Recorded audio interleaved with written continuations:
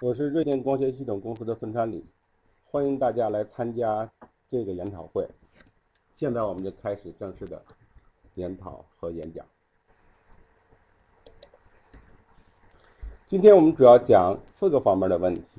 第一呢，是我们公司的介绍；第二，关于显示器技术领域的一些发展趋势，重点我们关注在 OLED。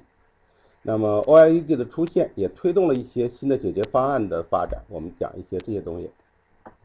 第四个部分是我们的重点，就是 OLED 显示器的像素级的测试和它的校正。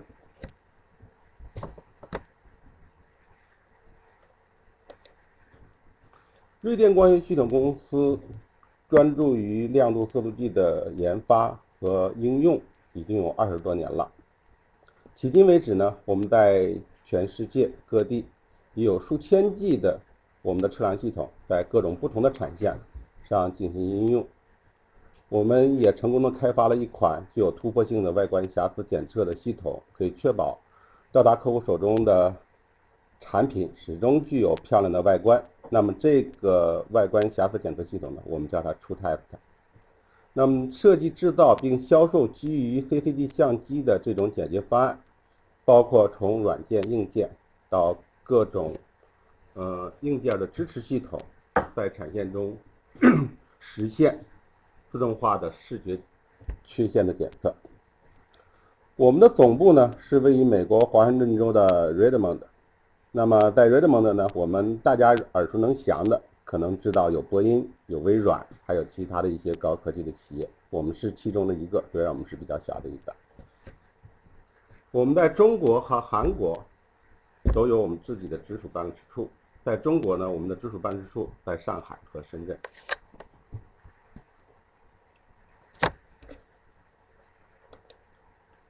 这张图呢，我们可以看到我们的工程师和我们的直属办事处在世界各地的分布。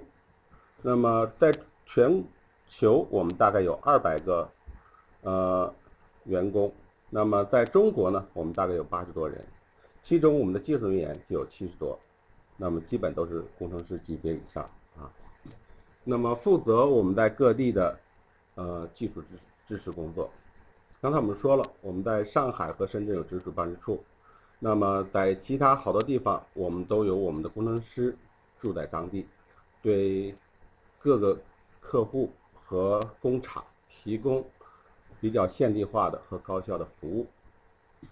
那么从这个图上，我们看到黄色的是有销售和服务办事处的地方，那么有服务人员的地方是白色和 一半白一半黄，那么还有灰色的那个，那么是我们有本地的销售。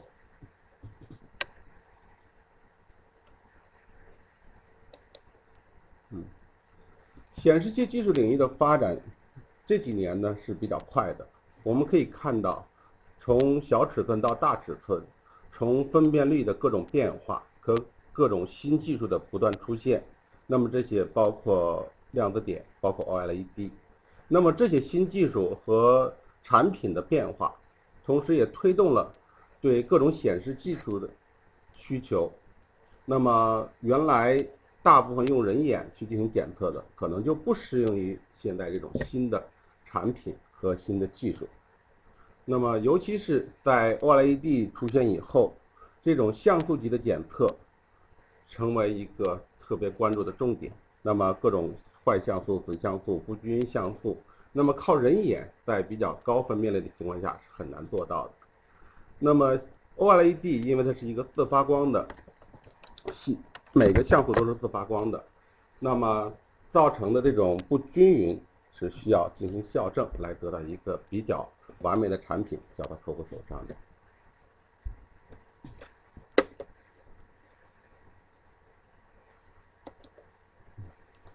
那么今天我们关注的重点呢，就是 OLED。那么 OLED 现在大家知道已经应用到各个领域，从手表、手机、电视到各种 AR、VR，嗯。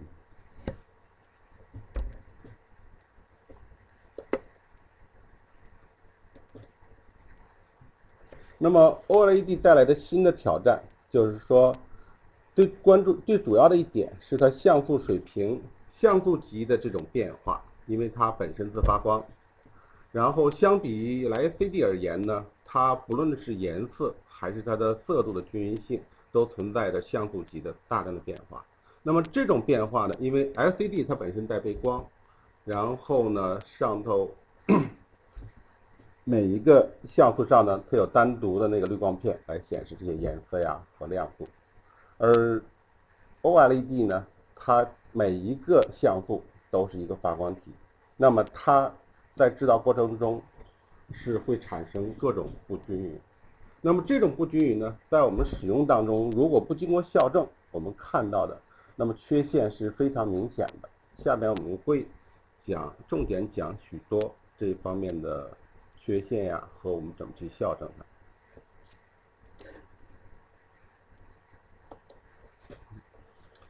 那么说到像素亮度的变化，OLED 显示器中的每个像素对灰度值的反应是具有细微差别的，结果可能导致在较低的灰阶范围内出现较大区域的 Mora 的缺陷，同时出现高频的像素噪声。那么我们所说的 Mora 实际上呢，就是说是一种块状的这种缺陷。那么 Mora 的定义呢，一般就是说测量，我们一般用 GND。实际上是一种人眼观察一个东西，然后看到它跟周围不一样。那么 GND 值等于一的时候呢，那么就是说人眼我刚刚能看到这一块跟其他的地方不一样。这个块可能是大一点，可能是小一点，里头有一些其他的呃影响因素。左侧的绘右侧的图中呢，我们看到的是 OLED 显示中两个单独的呃显示器的像素。那么我们看到，从它的低灰阶到高灰阶，这两个像素在同样的灰阶下，它所显示出来的亮度值是不一样的。这是就是说我们说的像素级的变化。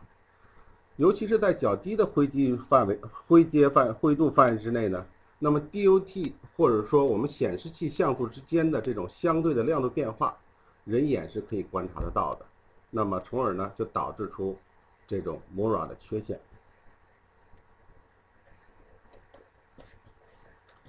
那么，这种像素级的变化也会导致这种色彩均匀性的变化。从这个图中我们看到，那么在不同灰阶，然后显示出亮度以后，那么红绿蓝三个子像素，那么它的反应是不一样的。当它们合成以后呢，可能在不同灰阶下，它同它的颜色也会造成各种各样的变化。那么我们看到这个图上。它会显示出不同的块状的这些东西，那么这种东西在纯色的情况下是特别明显的，这也是我们在后期需要进行校正的一个东西。那么这个图里头我们看到的呢，那么颜色呢代表的是不同的亮度的变化，比如说黄色是比较高的亮度，然后紫色可能亮度就比较低。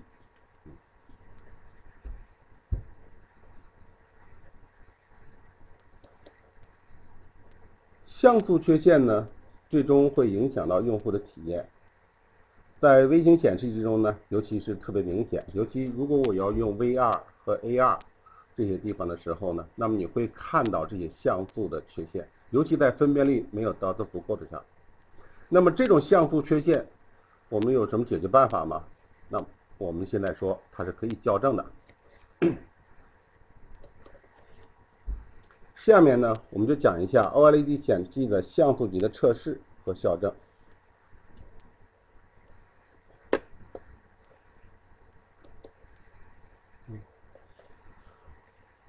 自动化视觉检测，我们也叫 AVI，是一种广泛经过现场验证的平板显示器的测试和评级技术。那么它主要是由成像色度计和分析软件组成，可以完全取代人工的检测。那么人工检测的时候呢，实际上我是找到一个点或者找到一个缺陷，那么就是说，如果换上两个操作员，他检测的结果可能是不一致的。那么通过机器的时候呢，我们精确的找到它，并且可以量化它。所谓量化的概念呢，我说它的那个缺陷的面积是多大，那么缺陷的对比度是多大，或者说缺陷的亮度值是多大，这需要从各个方面去进行量化。有了量化以后呢，我们就可以制定统一的标准，去判定这个屏是好的是坏的，或者说可以通过的，或者会，就是说可以出货的，或者不可以出货的来做这些东西就比较容易了。凭借新的测试技术和算法，我们能够快速的适应新型的技术，例如像 OLED 这方面的检测。而如果我们用操作员的话，那么这个新的检测的东西，我们还有一个很长的培训过程。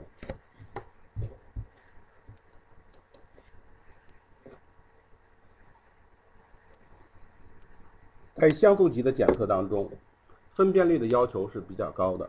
那么低分辨率呢，经常会 是限制我们 OI 解决方案的一个瓶颈。那么低分辨率，当我们用低分辨率的 CTD 传感器去测量我们一个高分辨率屏的时候，可能会造成比较高的我们测量误差，这个可以达到正负百分之十或者更高。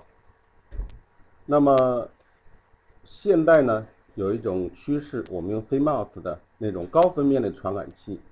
那么这种传感器呢，在精确的测量色度或亮度的时候呢，由于它的噪声比较高，那么它没有足够的信噪比，所以呢，在低灰阶的测量或者一些亮度、色度的测量当中，它没有达到足够的精度。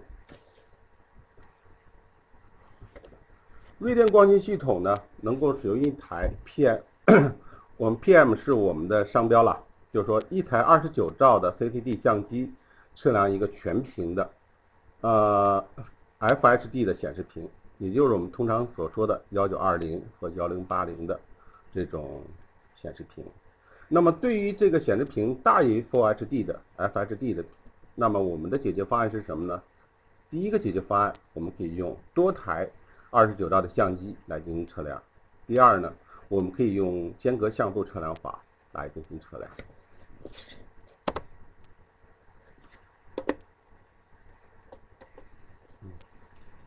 多台二十九兆相机的方案呢，实际上就是在这种方法中，用多台低信噪比、高低噪声、高信噪比的这种二十九兆的 CCD 相机测量同一个显示屏，比如像下图。我们就是说，用四台相机，然后每个相机测它的四分之一，然后把这个图像呢进行合成，合成成一张跟我们显示器一样的图进行分析。这是一个多台显示器的啊，我们在许多的应用当中呢都已经在使用这种方法。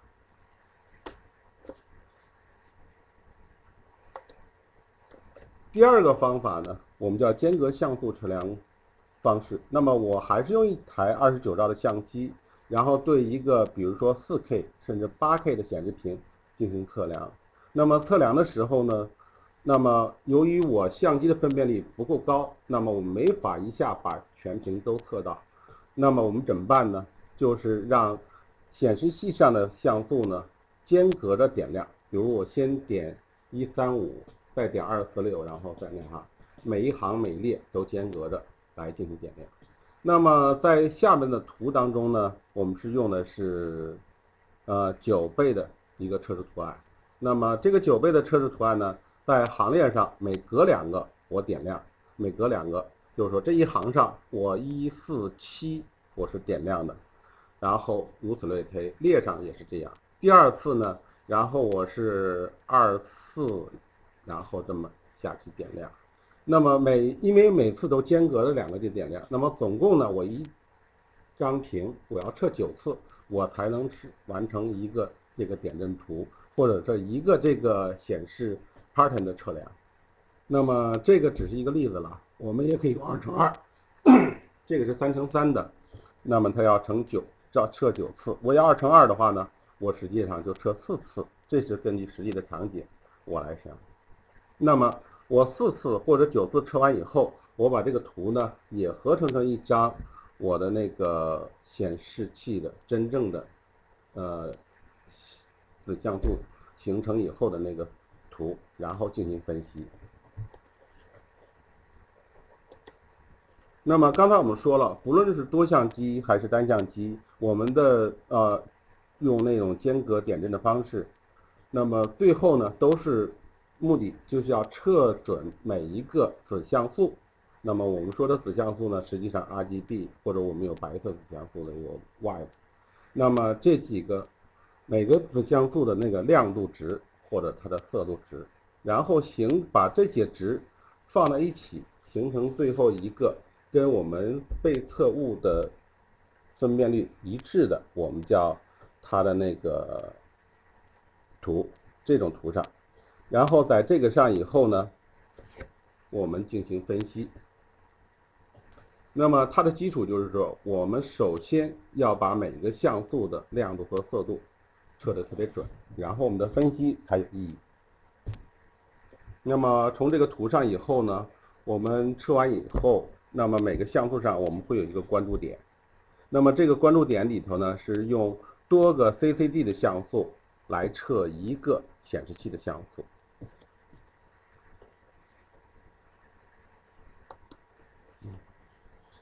那么说到 OLED，那么它一个很主要的区别跟 LCD 呢，就是说像素或者子像素的分布呢是有各种各样的，每一家都有自己的专利或者自己的这种分布的方法或者驱动的呃方式，有 根据不同的应用。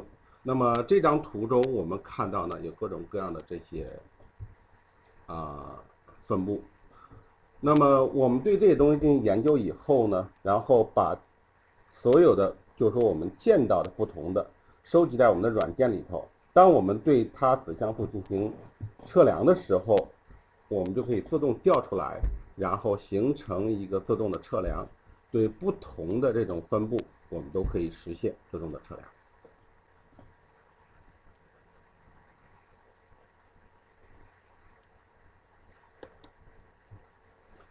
那么测量结果可以对每一个显示器的子像素的亮度和色度进行高精准的测量，并且找到它 的那个坏像素，或者说啊亮度不够的，或者说有一些问题的这些像素，可以通过设定不同的通过和不通过的标准来发现这些像素。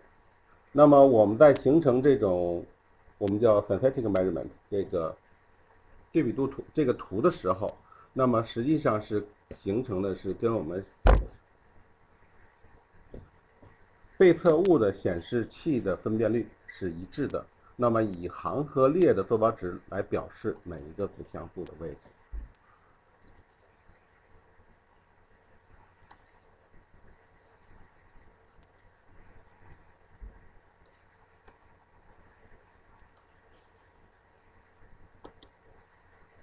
这个是测量结果的测量结果的合成图案。那么这个合成图案呢，实际上它的分辨率呢是跟我被测物的显示分辨率是一致的。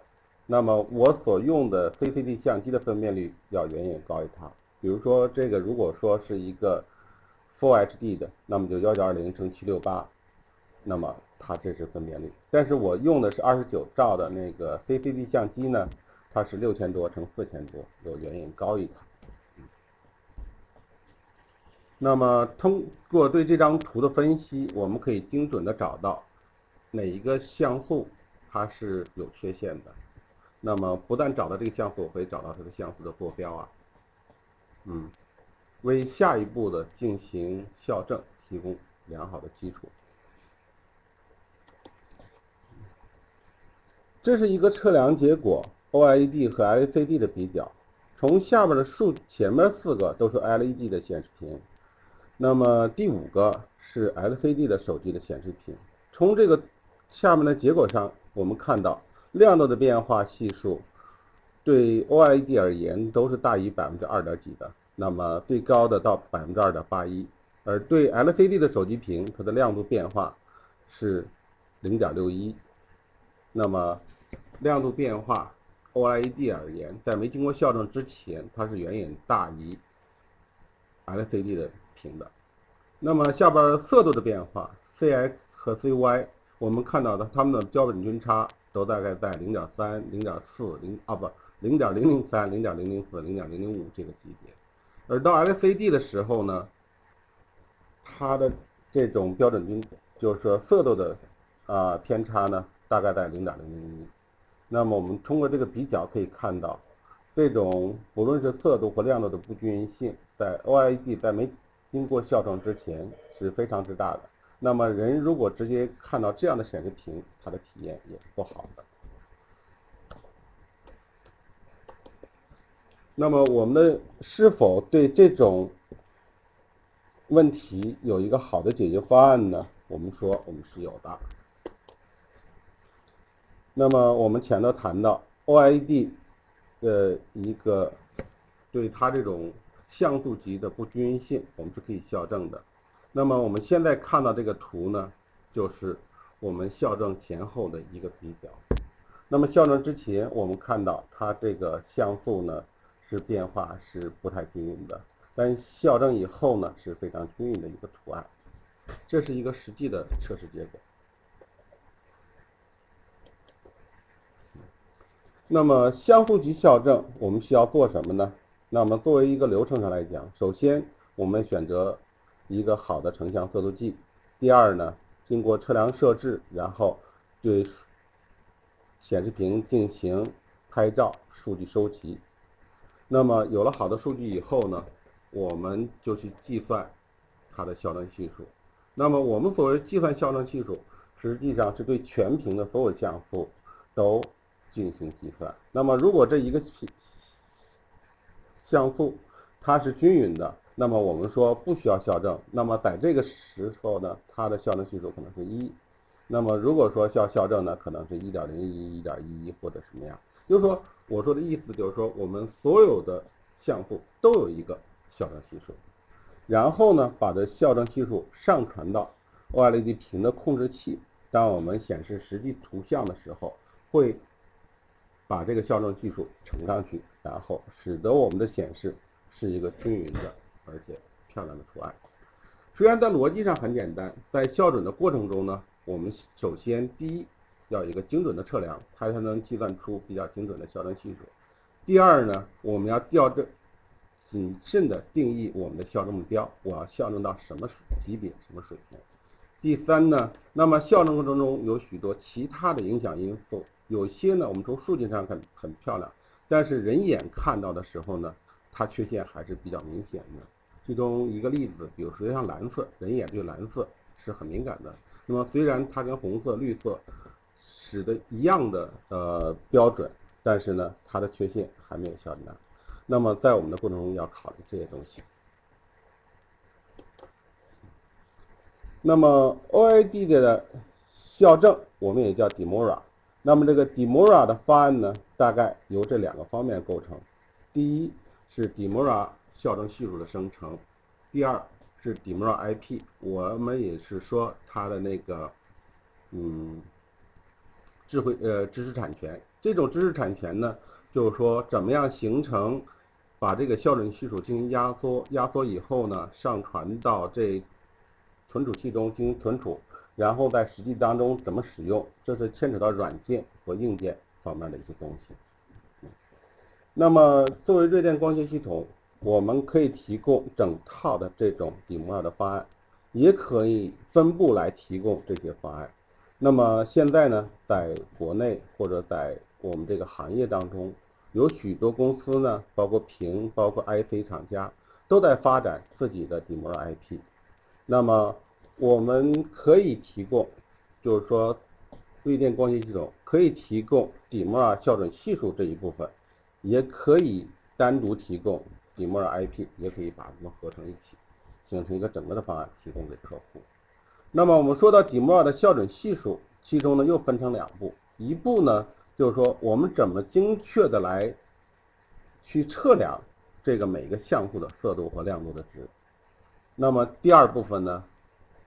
就是怎么样计算校准系数？那么我们的方案是比较灵活的，我们可以只做第一步，由客户来做第二步，因为有客户他想来控制他这个系数的校准那个生成的算法，那么我们也是可以做到的。那么我们说了如何做好 Demora，第一步呢，就是说，呃，生成好的校准系数。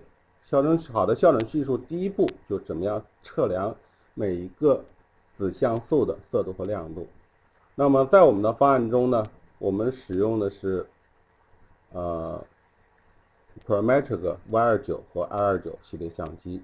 那么这个相机呢，它是十二位的，然后呢，它的分辨率呢是六七四六乘上四三八零啊。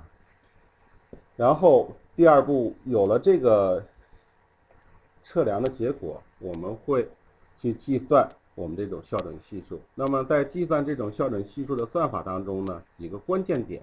第一呢。那么我们怎么处理这种 pentile 的这种子像素的分布？刚才我们看到了每一家都不一样。那么这种呢 pentile 呢是有些像素是共用的，它跟我们常用的那个 LCD 的那种子像素分布是不一致的。那么 pentile 以后呢，它的逻辑像素和物理像素也是不一致的。那我们怎么去支持它？那么我们刚才说了，在我们这里头，我们会生成一个校准库。那么第二个，那么在我们的屏的测量当中，一个困扰我们客户的很大问题叫摩尔纹的对测量的影响。第三个，那么就是伽马对这测量的影响。第四个，那么就是说我们说到是 API，所谓 API 呢，就是把我们的这些，我们刚才说了，我们的方案是很灵活的，那么可以把我们的方案。做成一个应用程序接口，提供给客户，他可以加到他的系统里头去。那么我们就分开来讲一下这些东西。如何获取好的 OLED DeMora 的校准系数？我们刚才说了，我们用我们的亮度色度计 Y29 或者 L29。那么 Y29 是亮度计，R29 是色度计。那么这些呢，列出了我们为什么使用我们的 Y29 和 R29 啊？它是非常，就是说，我们有亮度、色度的测量体系，我们就是说自动控制它的聚焦、曝光时间和光圈，在自动温控系统来降低噪声。我们知道，系统的噪声光就是 CCD 系统的噪声，那么跟温度是关系成正相关，而且影响非常大。那么 CCD 这块是需要进行温度控制，使它的噪声比较低。那么我们有多型号、多镜头的配置，同时呢，在我们出厂的时候，我们用多种方法的校正，然后使得这个它的亮度、色度的测量达到比较精准。同时，我们对 CCD 的选用也是比较严苛的。那么我们有丰富的 DeMora 的应用经验，我们从2006年开始做 LCD 的啊 DeMora，到现在我们扩展到 OLED 的 DeMora。那么我们有二十年的制造和生产应用经验和各种专利技术来支撑我们对这些应用。那么我们说的二十年的生产和专利经验，我们的相机和我们的软件都是我们自主研发的。我们从一九九二年开始做这些工作，到现在已经二十五年了。那么有了比较准确的，呃。子像素的亮度、色度，我们怎么去进行这种系数的计算？那么和生成这种合成图，那么首先我们刚才说到了，我们支持多种潘泰的结构，我们实现了自动摩尔纹的去除。那么 Demora 解决像素及 Mora 不一致的问题。那么可能在这方面有经验的工程师可能都会知道。呃，OLED 它像素级甚至在不同灰阶，它的 Mora 不是说是在一个平滑的曲线上。那么我们在这些计算当中要考虑掉这一因素。那么第四呢，使用高分辨率的解决方案来降低拍照的数量和时间。下面这是我们另外一个例子，讲到各种各样的不同的喷台的结构。这些都已经包含在我们的数据库里了，啊，包含我们的程序库里头了。那么自动摩尔纹去除，那么对摩尔纹的影响我们看到，那么它有各种各样的因素，像素的影响，像素分辨率，那么这相机的分辨率、显示器的分辨率、亮度色度计的分辨率，还有各种镜头的设计、滤光片的设计，包括软件的算法，都可能对摩尔纹。产生影响，那么我们最后呢，就是说，如果说一一的去对每一个，首先去进行啊分析，然后呢去找到它的解决方案。那么这种摩尔纹的去除呢，我们主要是在软件上实现的。那么右边的这个图呢，我们看到它的左下角，实际上或者说这一半呢，实际上在没有去除摩尔纹之前，另一半呢是在去除摩尔纹之后。那么去除摩尔纹以后呢，我们看到它是一个真实的我们的那个显示的图案，没有各种干扰了的。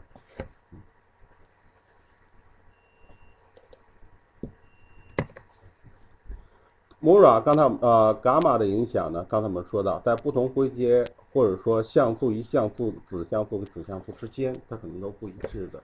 那么在我们生成校准系数的时候呢，我们要考虑到伽马的这个影响。嗯，这个呢就不用细说了。嗯，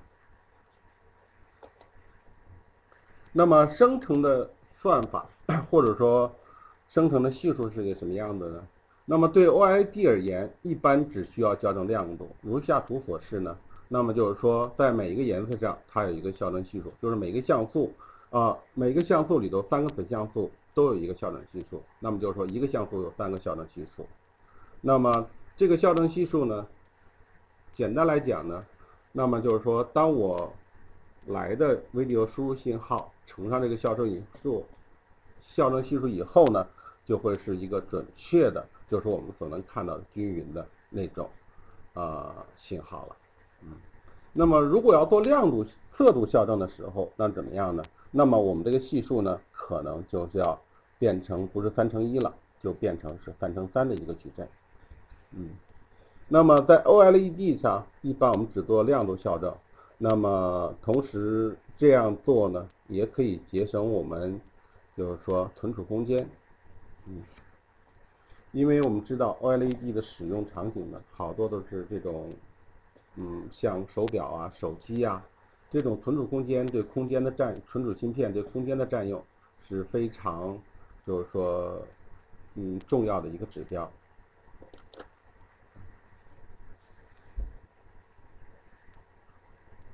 那么我们现在看到这张图呢，是使用高分辨率，就是说，色度成像速度测量的。已采集到的一个图，那么对显示器亚像素呢，其中的 ROI 我们就说到关注点，那么实际上这个关注点呢，就是每一个 DUT 的这个像素，DUT 呢就是说我们被测物的显示器啊，那么我们对每一个 ROI 中间的值进行精准的测量，然后实际上对它们取它们的平均值，然后呢进行校正因子的计算。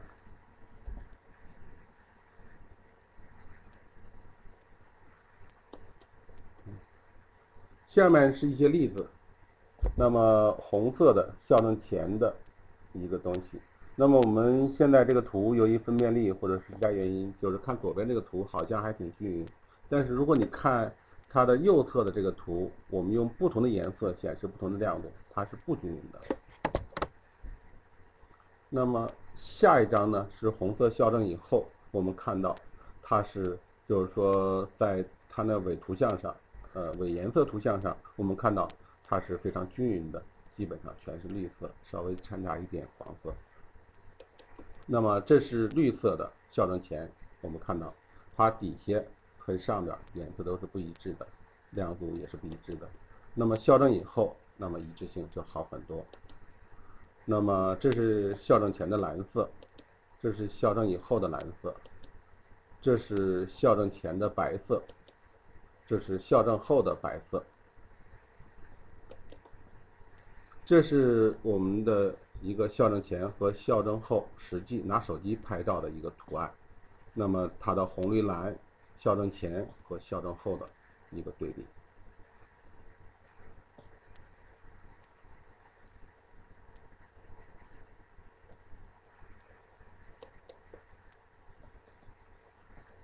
作为这次。的一个总结吧，像素级的校正对于先进高分辨率 OLED 显示器的成品率具有直接的、直接的影积极的影响。这在 OLED 显示器领域是很重要的，因为每一个眼像素都是独立的发光器，其行为和老化模式可能与周围的像素不一样。要实行这些测量，非常重要一点是要采用具有高分辨率和测量性能的高信到底的那种亮度计，或者说我们叫测量相机。由于 CCD 的稳定性和更大的像素尺寸，这种方法比使用超高分辨率的 CMOS 系统更精确。高分辨率测量呢，使得每一个像素的缺陷的检测和校正成为可能。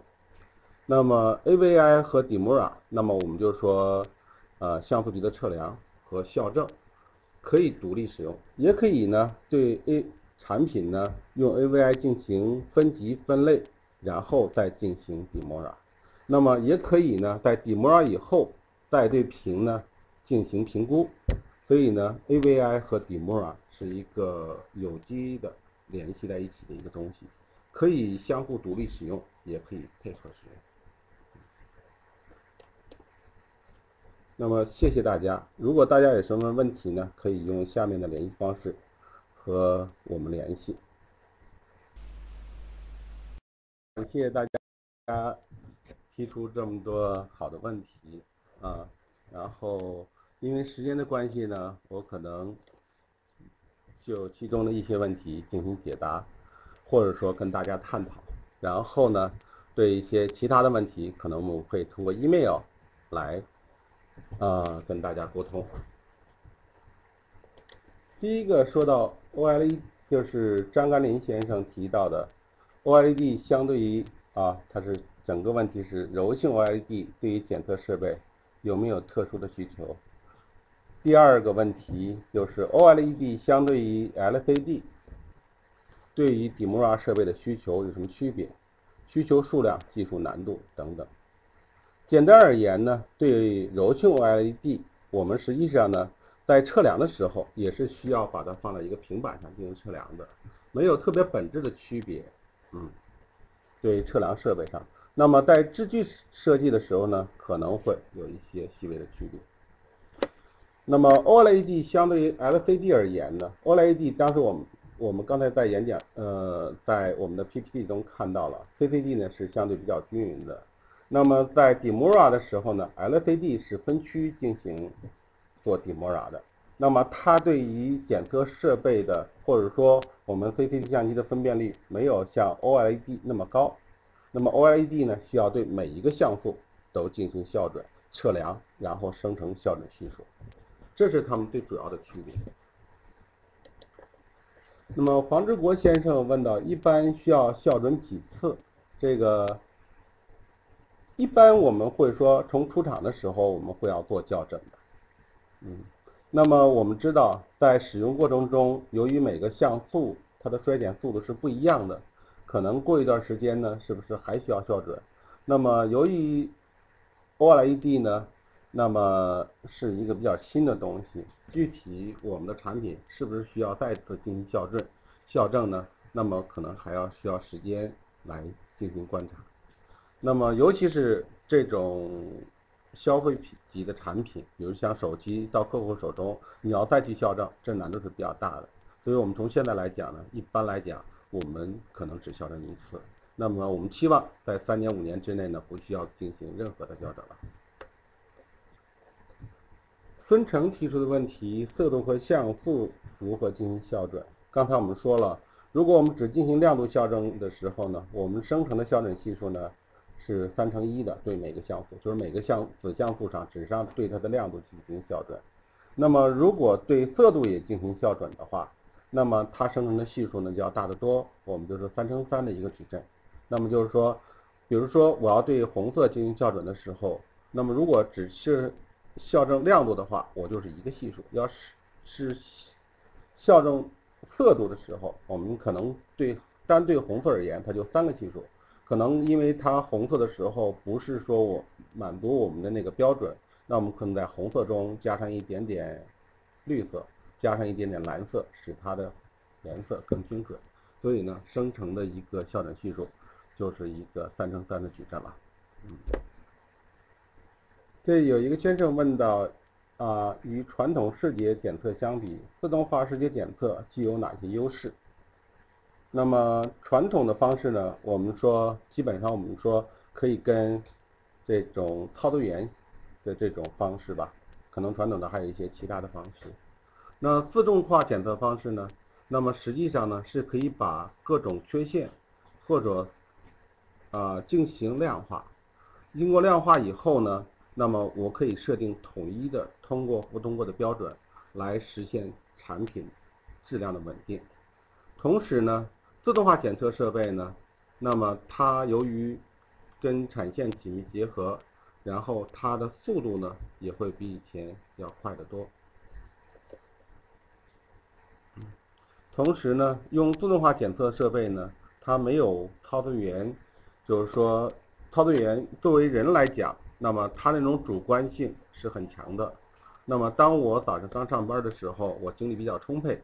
那么这时候呢，我检测结果呢，可能就相对于准一点或者严一点。那么当我到下午比较疲乏的时候，可能我就会，就是说漏失就会高一点。这是我们说的主要的区别。有人问 Mora 是指显示亮度不均匀造成的各种什么东西？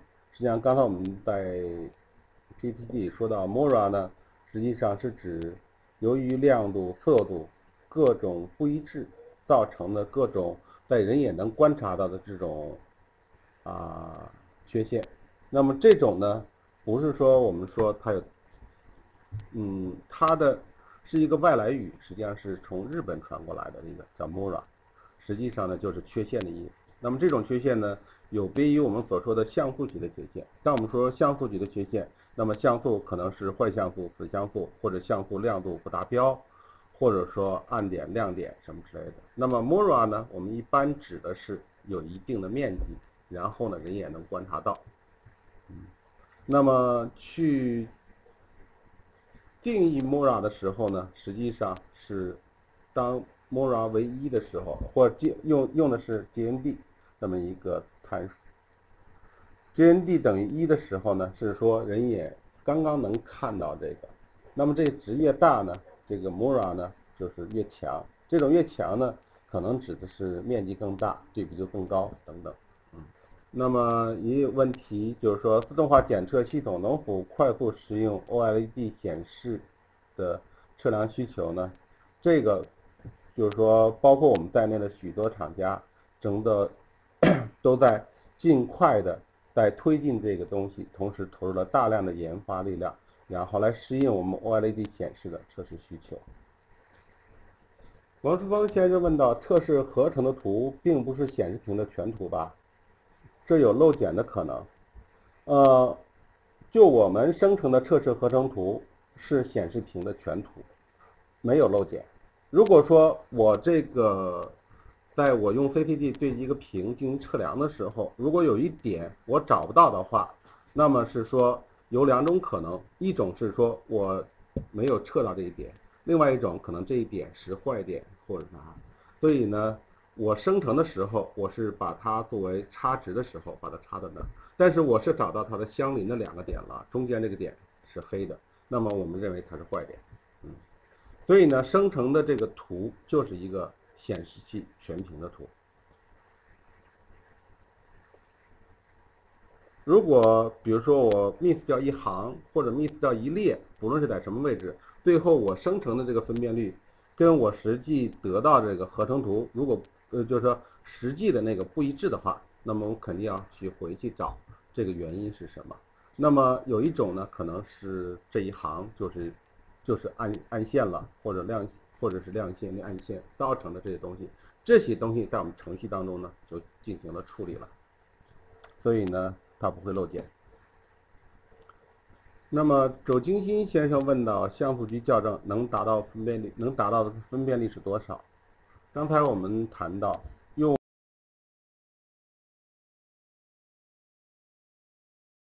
我们二十九兆的 CCD 相机，我们可以对一个 Full HD 幺九二零乘幺零八零的屏进行校正。如果更高的屏，分辨率更高的屏，我们用什么方法呢？那么第一种纯硬件的方法，我们是用多相机的方法。这种呢，呃，另外一种方法呢，我们就是间隔像素点亮的方法。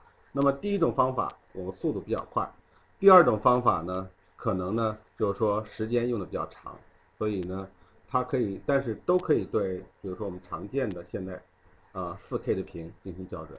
那么未来可能会 8K 的屏，好多厂家也都在研发，那么对 8K 的屏也可以实现它的校准。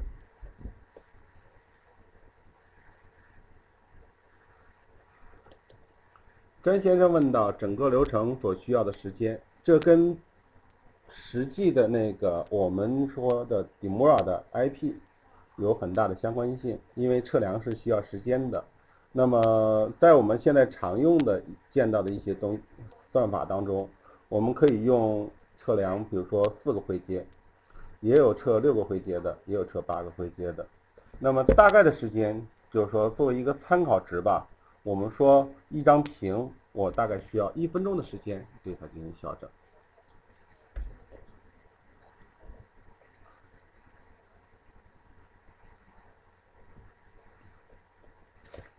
徐小明先生问到：测量中如何保证像素和相机的像素和屏像素刚好对应？因为两者之间的像素数是不一样的。我们刚才说了，我们不是说让 CCD 的像素和屏的像素进行一一对应，而是用多个 CCD 的像素去测量一个屏的显示像素，所以呢，它不存在一一对应的问题。那么，但是我们也需要找到每一个显示器的子像素的位置，然后我们才能把我的关注点放到上头，然后进行精准的测量。那么，怎么找到这个？嗯，子像素的位置，这个呢有好多软件方面和硬件方面设置的那种啊，我们下边呢就是可以进行一些交流。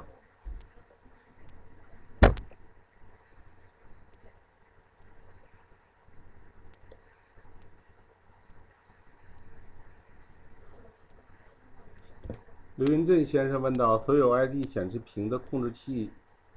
的控制是一致的吗？应该是各家跟各家都有不一样的控制器吧。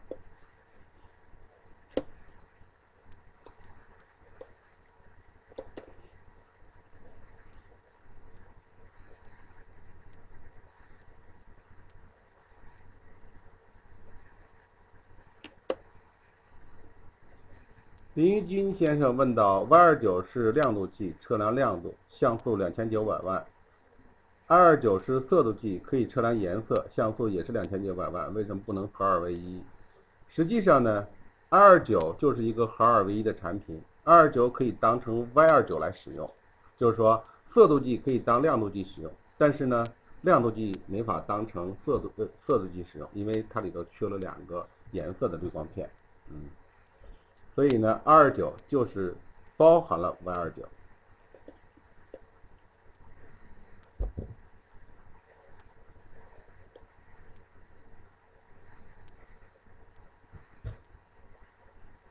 小屏幕的 OLED 需要对每个像素单独校正呢？是的，对 OLED 校正的时候，刚才我们谈到跟 LCD 的校正的时候是不一样的。O.I.D 呢是不论是大屏小屏都要对每一个像素去进行测量和单独进行校准。因为大家的问题比较多，然后呢？我现在这么捋，稍微有点慢。